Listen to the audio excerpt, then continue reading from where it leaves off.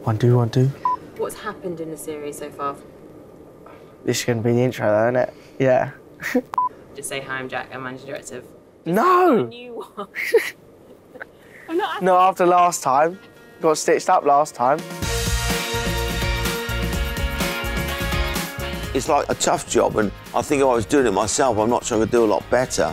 The hardest thing is because he's 18, is to get respect of people. I'm 19. Sorry, 19 now. Yes, 18 when you started. Yeah, 19. Yeah.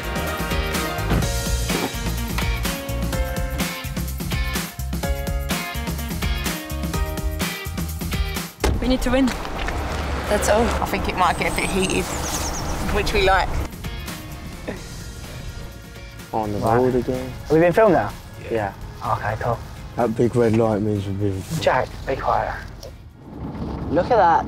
It's a decent stadium, to be fair. This gets settled tonight. So the mindset from us has to be aggression. Remember, they're a young team. They're a very young team. So look at each other now. Look at each other across the fucking room. Look at each other.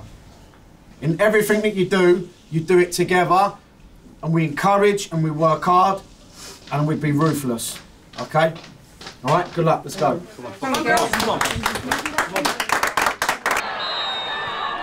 Here's Rafferty, manages to angle it across. It could go anywhere, and it's kept out by Chamberlain. Tonight is about progression in the League Cup.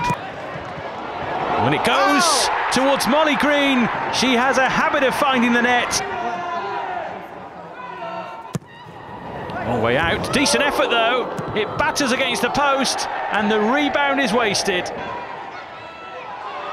Oh, and here's Sigsworth, who's picked the pocket of West Ham and found the target for goal number two. The semi-finals are on the horizon for Manchester United. That's it. Manchester United's women march on. Referee was 12 player, man. I mean, maybe Changes the whole game. it does. I mean, we were shit, Yeah. but still. We should have been better than that tonight, really, if I'm totally honest. We hit the bar and the post. What did it say? Sullivan wants to score. So you were spotted in the stands. He was, yeah, not me, thank ah. God.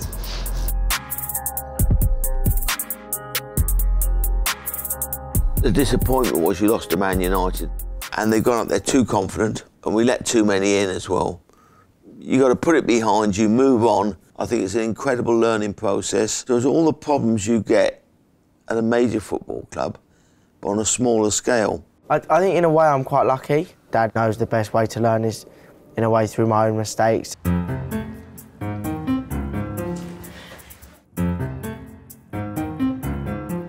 Are you happy to be here? Yeah, I'm happy. I'm happy to play in this team. You've been to London before. Just once before. Yeah.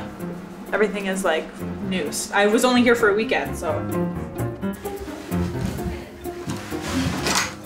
It's locked in it. It's locked. Hi. Nice to meet you. Dree, nice to meet you. Nice to meet. Nice to officially meet you.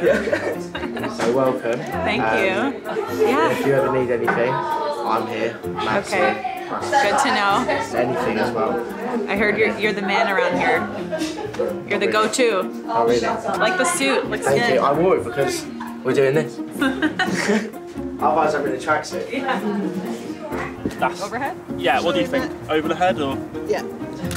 They're two top players. We brought them in to make a difference, and we look forward to seeing them play. Are you mates? They will be. I'm going to speak rather posh today because I've heard my previous episodes of this and I can hardly understand myself. And I hope Jack improves his accent for the rest of the series because he speaks in a rather deep voice. I rather like being know, this sort of upmarket person. Stop, stop, stop, stop. Just go normal, just go normal.